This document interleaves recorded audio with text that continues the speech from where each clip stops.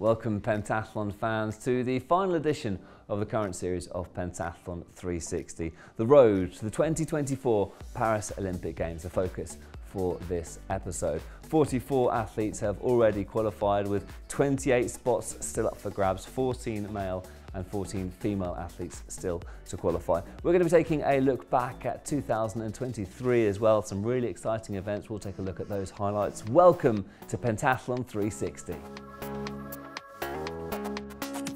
We'll start this week's show by taking a quick look back on the 2023 season, specifically the World Cup Series, which culminated in the World Cup final in Ankara, where the first qualification quotas for the Paris 2024 Olympic Games were secured. You'll remember that incredible battle between Joseph Choong and Mohanad Shaban in what was one of the most dramatic finishes in recent modern pentathlon history. Elena Micheli as well dominating in the women's individual final and she has been in some form over the 2023 season.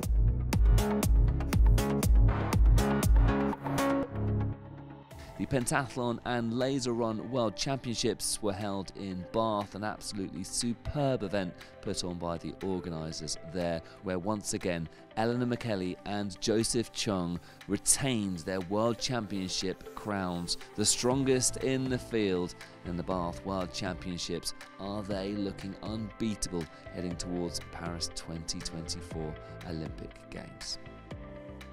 Well, modern pentathlon has officially been confirmed for the Los Angeles 2028 Olympic Games, with obstacle as part of the sport. The junior events took place last season with obstacle added, thrilling events, exciting both for pentathletes and spectators. The under 17s, the under 19s, and the junior world championships featuring obstacle. They will for sure be the future world champions of the sport. Also last year, the Biathle Triathle World Championships were held in Bali, an incredible location and fantastic event. Plus, the Parasport on demonstration, really fantastic to see all the athletes there. And Asia rising high as an organiser of the World Championships next year strong athletes in several countries. They really are one of the up and coming areas to keep an eye on.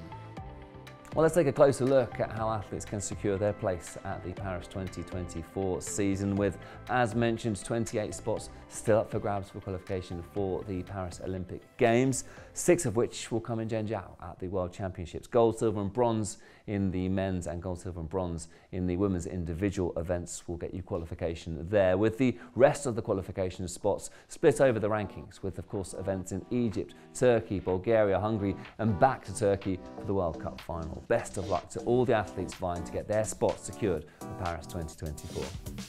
So, as mentioned, 44 athletes have already picked up qualification spots for the Paris 2024 Olympic Games. Special mention once again to Elena Micheli and to Joseph Choong, the world champions last year, Mohanad Shaban, World Cup final winner in Ankara, Turkey. Laura Heredia was the first female athlete from Spain who secured her spots for the modern pentathlon Olympics, and Emiliano Hernandez had an outstanding performance throughout 2023, securing his place too, following in the footsteps of his brother Ismael, who won, of course, the medal at the Rio 2016 Games. And special mention to Kerenza Bryson, who's been absolutely incredible this year, winning her first World Cup gold in Bulgaria.